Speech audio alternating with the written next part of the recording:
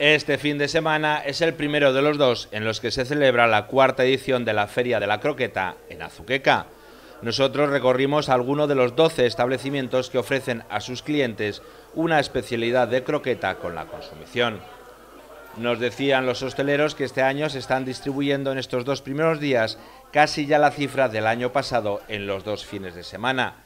Y aún queda el próximo, por lo que las expectativas, si el tiempo lo permite, son excelentes. Croqueta de rabo de toro, de marisco o de queso y sidra son algunas de las que degustamos y ya pensamos en el día 24 y 25 para terminar nuestra ronda.